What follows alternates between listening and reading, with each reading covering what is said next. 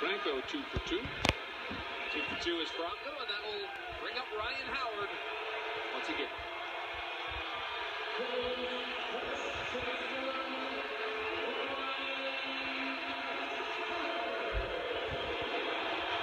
Now fans are certainly enjoying being part of this moment.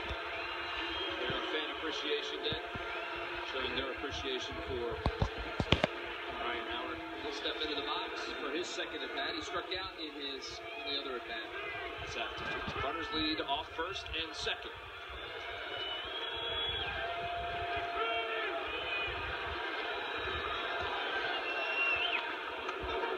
First pitch hit on the ground to the right side, and that's a fair ball. So Duda will pick it up, step on the bag, and that's the final out of the inning. So, Phil's